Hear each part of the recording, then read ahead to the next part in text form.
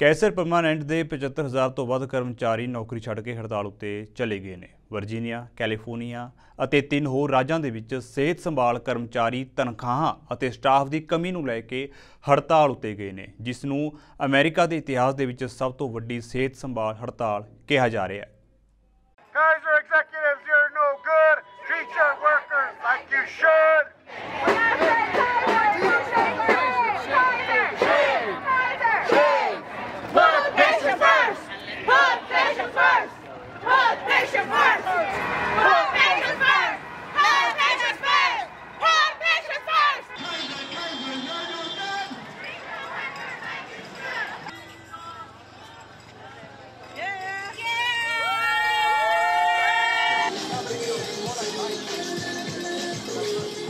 So what's happening is Kaiser has not been bargaining with us in good faith, and so it's pushing us to come out here and strike. We don't want to. Uh, we want to just be inside taking care of our patients, but unfortunately, Kaiser's not bargaining in good faith.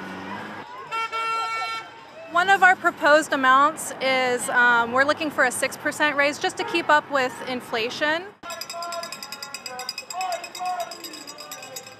Well, we're asking for more workers, uh, and we want workers that are going to make a difference. Okay, we we we're getting more executives.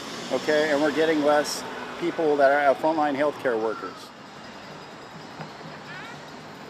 Hey hey, ho ho! Short staffing has got to go. Hey hey! Short staffing has got to go. Hey hey, ho ho!